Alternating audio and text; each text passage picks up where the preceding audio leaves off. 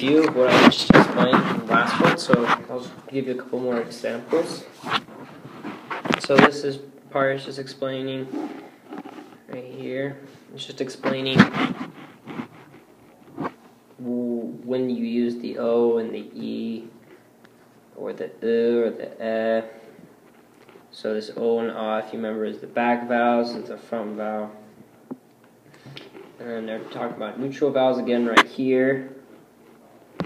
So, like I said before, a neutral vowel will just basically become a clone or just act like whatever was, whatever else is in that word. So you see here's a front vowel, so we're going to say this is a front vowel instead of a back vowel. So we would use ear uh, and like I said, usually just go with an eh. So use the e in that one.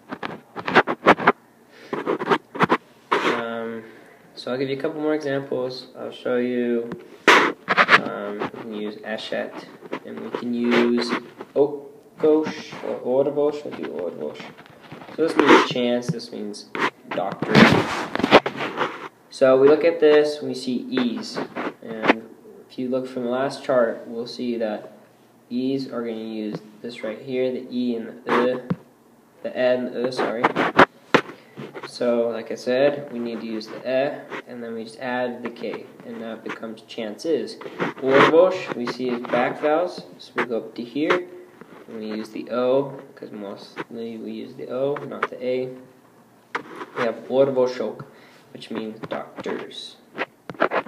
See that? So, oops. Okay.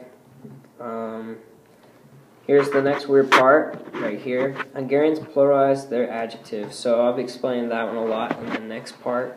But basically, they will say happies or sads, and they use that with what I was talking about before, vagytok, which is you all, or with vagyunk, which means we are.